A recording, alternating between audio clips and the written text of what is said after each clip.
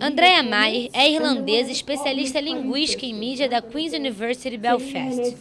Durante sua primeira visita ao Rio de Janeiro, ela se interessou pela cobertura da violência da cidade no contexto da segurança pública atual.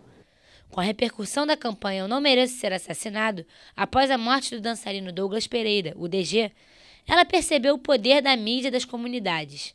A professora constatou que a campanha recebeu a atenção da imprensa tradicional, mas não teve tanto efeito como poderia se tivesse sido acompanhada de protestos nas ruas. And it was very important that it was taken up by. It's just that it didn't have the effect I think that the people who started the campaign wanted it to have. And, uh, and that is why I also think that offline protests are more important than online protests. Yeah? So the, I think if, if you go out into the streets and protest, you stand a better chance of, of achieving things. André agora estuda a cobertura dos conflitos armados no Rio, junto com Alice Baroni, pós-doutoranda do programa de pós-graduação em comunicação social da PUC-Rio. Elas analisam o trabalho do fotojornalista em situações de risco nas favelas. Segundo as pesquisadoras, as imagens produzidas por esses profissionais passaram a ter um caráter mais simbólico.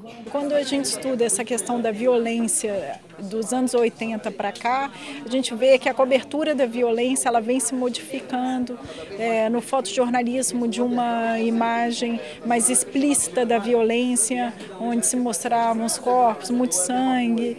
É, para uma produção da representação da violência mais simbólica, né? onde tem uma imagem, por exemplo, de uma mãe chorando, às vezes quando tem um corpo, esse corpo aparece de maneira desfocada. Alice Andréia destacam a importância das mídias comunitárias, produzidas dentro das próprias comunidades, que contribuem para uma cobertura mais justa e equilibrada. Fundador do movimento hip hop da Cidade de Deus, o DJ TR também tem restrições do trabalho da grande mídia. TR perdeu muitos amigos de infância para o tráfico de drogas e hoje faz um trabalho de conscientização na favela.